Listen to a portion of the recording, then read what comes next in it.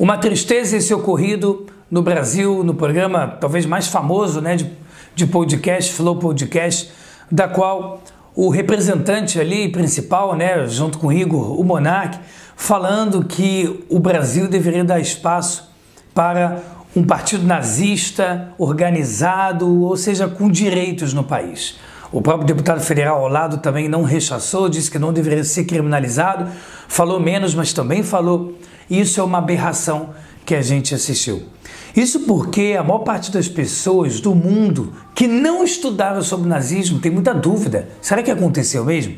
Será que foram 6 milhões de pessoas? Existe muita ignorância. No próprio Brasil, o analfabetismo tem uma, a sua taxa muito alta. Então fica difícil quando a gente tem pouca narrativa do bem, explicando o mal, a desgraça que é o nazismo.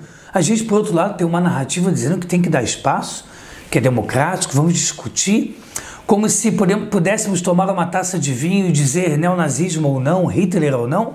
Isso é um grande absurdo, então fica o meu repúdio como judeu, como rabino como brasileiro, em tentar dar é, qualquer possibilidade de democracia para algo que quer destruir a democracia.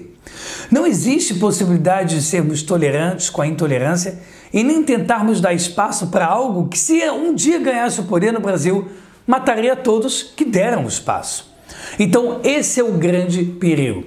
Talvez teve, é, não teve má fé no que foi falado, mas o que foi falado, a própria ação, é o que gera o meu repúdio, o nosso repúdio da comunidade judaica e o mal que foi gerado. Fez muito bem a Fiergs, todos os órgãos judaicos que imediatamente fizeram nota oficial, disseram que vão intimar na justiça se tiver que intimar, porque a gente precisa levar isso a cabo de uma vez por todas. O nazismo não é uma via democrática. Que bom que o André Lasso foi trazido lá é, é, no programa e falou o que falou, falou muito bem sobre a maldade, o problema que foi feito. Fico feliz por pelo menos o monarca que falou essa coisa insana ter pedido desculpas. Isso mostra que talvez ele é ignorante, mas, final das contas, a ignorância também mata. E é ela que a gente tem que repudiar com toda a força: a maldade e a ignorância. Fica o meu repúdio e também do nosso canal, do nosso programa e da nossa organização Torá com você.